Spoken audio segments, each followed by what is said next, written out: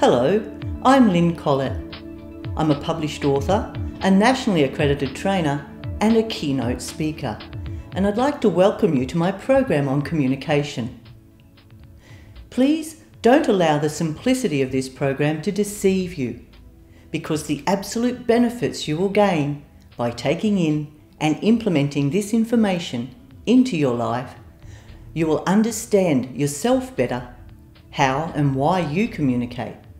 Then you'll automatically understand everyone around you a whole lot better.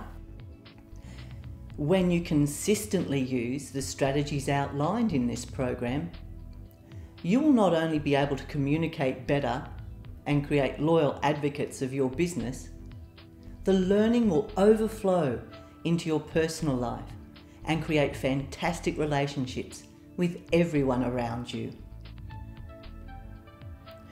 You see, when we were young, we were taught to read and write and do math, and when we made mistakes, we were corrected until we learnt the new skill. Communication skills were a different matter. We were all taught how to organise words into sentences, how to pronounce words, and how to use verbs and nouns, but we were never taught how to communicate effectively. When we made mistakes, there was no one there to correct us or even know we needed correction. And we were never told how we can improve or that we needed to improve this most essential skill. Consequently, many people today struggle to communicate or have difficulty being understood and understanding others. The most important thing to focus on is the true nature of our communication. It always starts with us. To be able to better communicate with other people and your clients, you need to first look at how you communicate with yourself. The words you use every day to talk to yourself will always determine how you talk to everyone around you. The skills that you'll learn in this program will help you not only communicate better and create better, more profitable business and happy clients, you'll also have better personal relationships. Because understanding how you communicate with yourself every second of every day about everything that's happening around you, you'll better understand everyone you communicate with. You see, we all judge. It's a defense mechanism We've had it from days gone by. We had to have it to survive because it meant the difference of being clubbed to death. This, like a couple of other instincts still with us today, have profound effects on how we interact and communicate with everyone. Every time we see someone, we automatically judge them on some level. If you really desire to be able to communicate better with everyone, including your clients, this is something you'll need to address. You see, the reason we judge is because we first judge ourselves.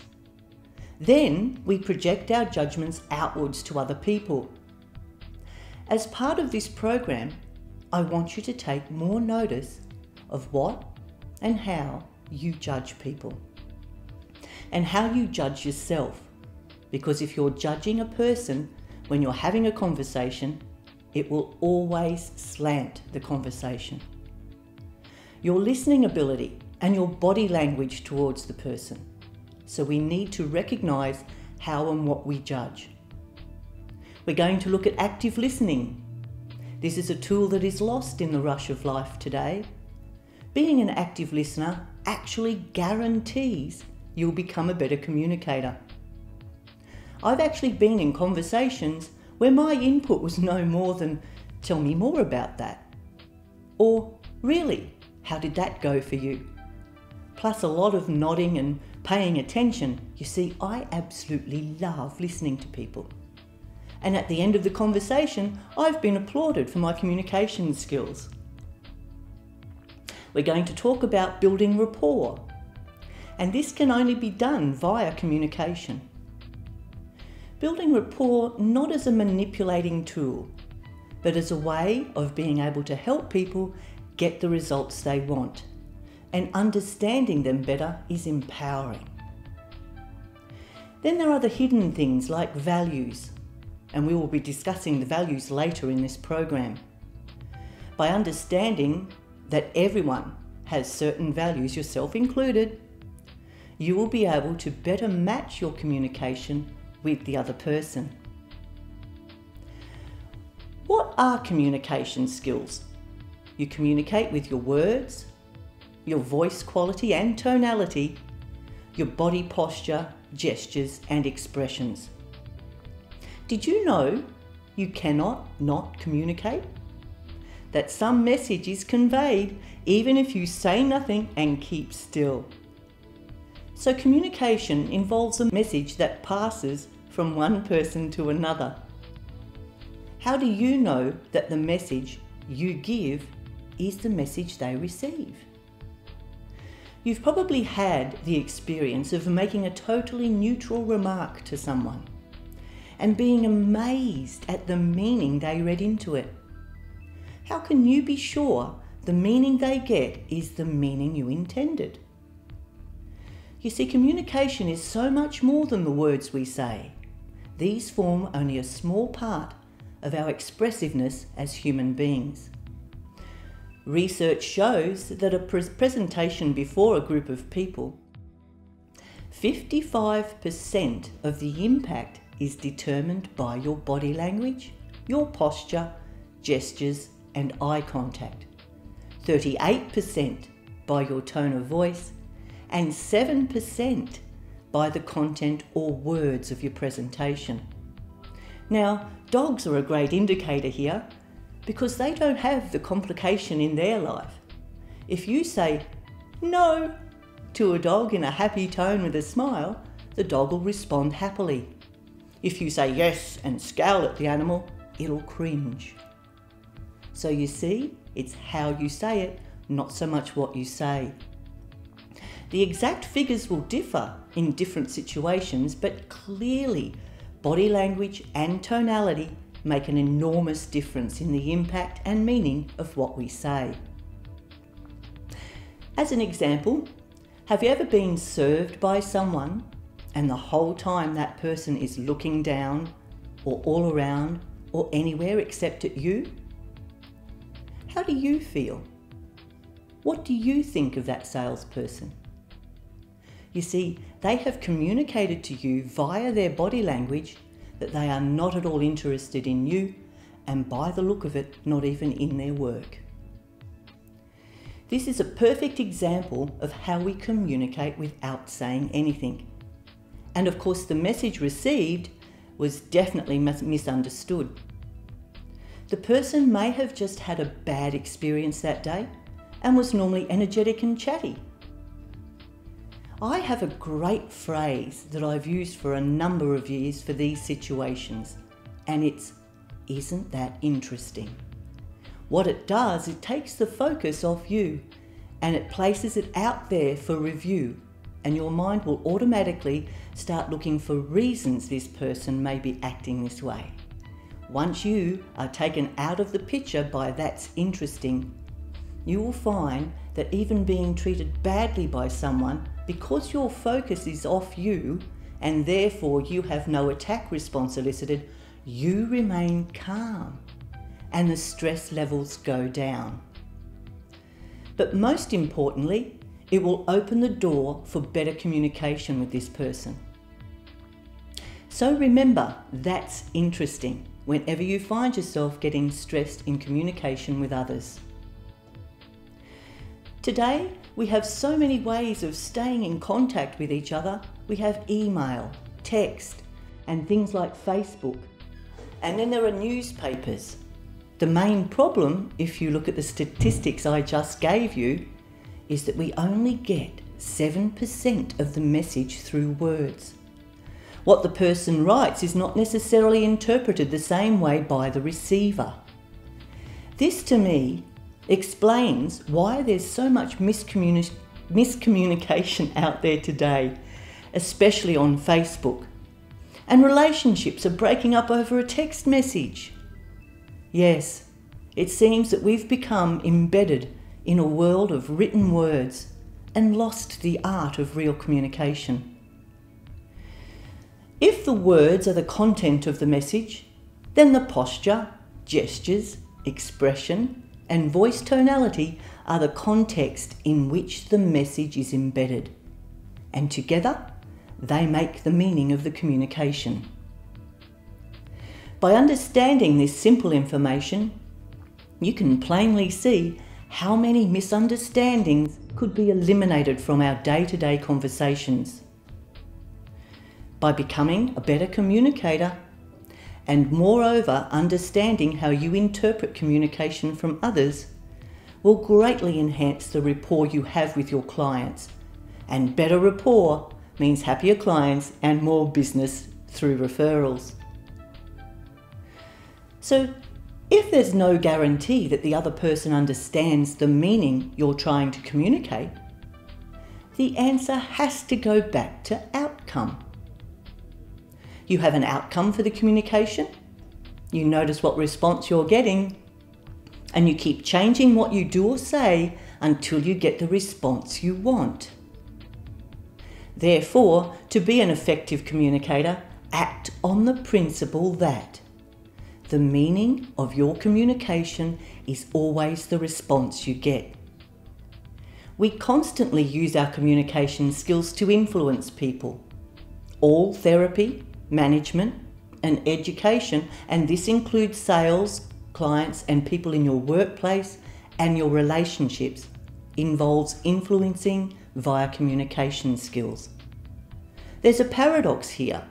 While no one would be interested in learning skills that are not effective, these effective skills may be denigrated and labelled as manipulation. Now, manipulation carries a negative connotation that you are somehow forcing a person to do something against their best interests. This is often an unconscious manipulation, though, because many of our day to day conversations with others have the predetermined objective of manipulation. And let's face it, children are masters at it. And this is not what we're doing here. There will be some barriers to communication. They're there all the time, especially in our busy world today. Barriers to communication can include hidden agendas, emotions, stress, prejudices, and defensiveness. These barriers need to be overcome in order to achieve the real goal of communication, namely mutual understanding with each other. The importance of great communication skills is that we are all clients at some stage. As clients, we expect to be treated professionally from someone who listens to us and is interested in helping us achieve our goals and ensuring that our needs are met. To a very large extent, your reputation and the reputation of any company that you work in is based on the way you interact with your internal clients, that's the people you work with, and external clients, the people that you serve. To foster good relations with everyone, you need to be able to deal with all the different kinds of people you come in contact with. You need to assess their needs and you need to know how your service or product can help them. Each contact you make is important. So, therefore, quality client service means making the person feel comfortable when they approach you, listening to what they have to say, respecting them, and then helping them get what they want, helping them fill their needs. Now, I've had a, a pretty bad service story. I was going out to get a new phone, and I went into one store, and the girl behind the counter completely ignored me for at least five minutes. Then, when she did see me, she said, I'll be back in a moment. She walked out the back, did some work, came back out, and walked straight out of the store without even looking at me. Do you think I stayed in that store or bought my phone from there? No. I walked straight out of there. I went to another store where the lovely sales assistant behind the counter was not only very helpful, very informative, and helped me to pick out what I needed. And he listened to me, which made the difference. Now, what I want you to do is to think back when you had a bad service experience and when you've had a great service experience. And fill in some questions about it. Use this to understand how your communication with your clients can affect their experience. I'd like you to take the unsatisfactory client service experience and answer these questions. Describe a time when you were a client and received unsatisfactory service. What occurred to make this a bad experience? How did it make you feel? And what did you decide to do after the experience? Then take a little bit more time and do the same thing with good client experience. Describe the time when you were a client and you got good service? What occurred to make this one a good experience? How did the good service make you feel? And what did you decide to do after the experience? This is designed to get you to focus on the type of communication that took place. Did the person involved communicate well? Were they distracted? Or were they attentive to your needs? and communicated well with you.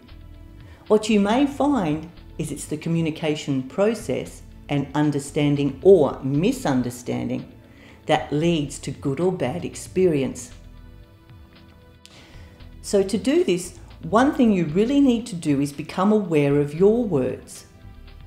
Now, as I said earlier, we are always talking to ourselves every second of every day that internal dialogue going on in your head can really impact our conversation skills.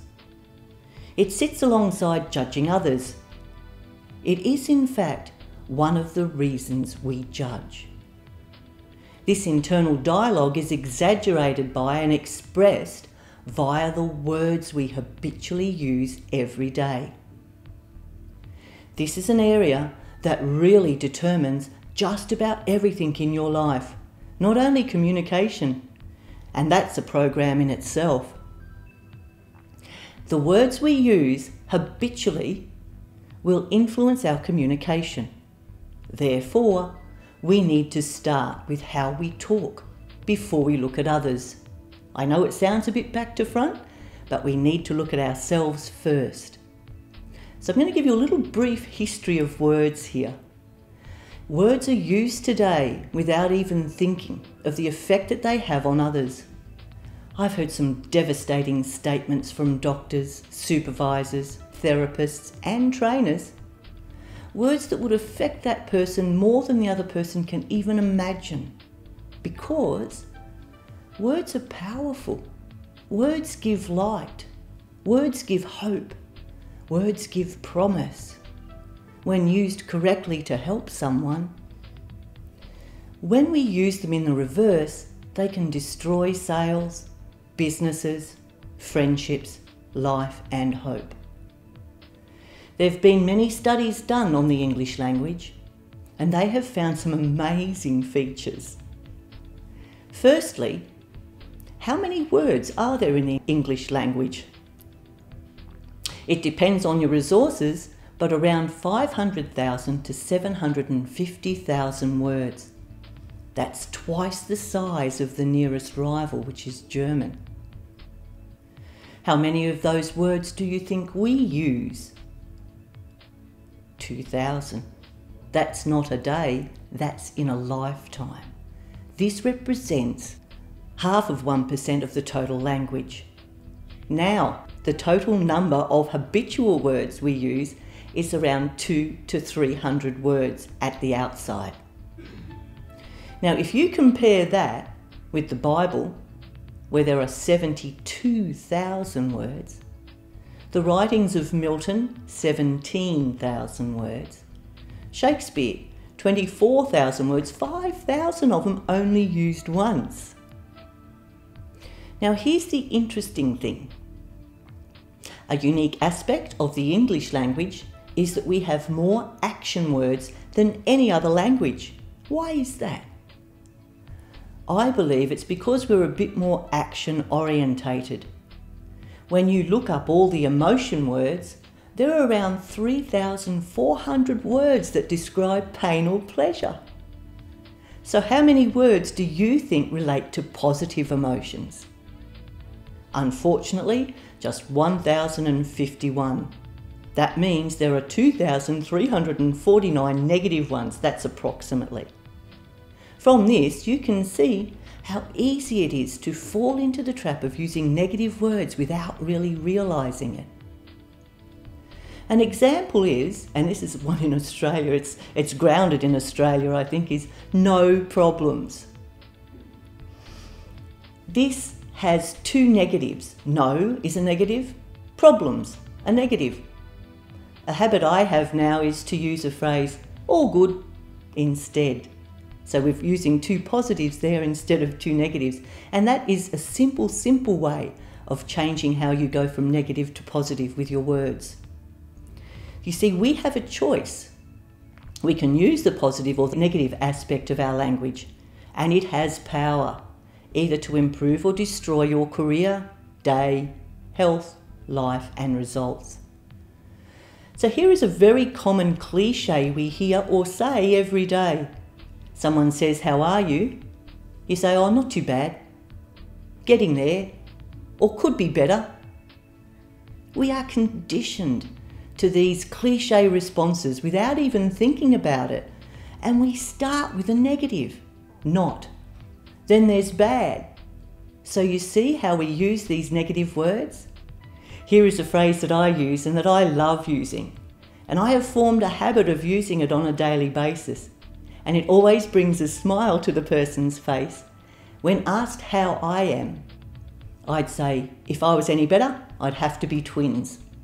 Now, you don't have to go that far if you don't want to.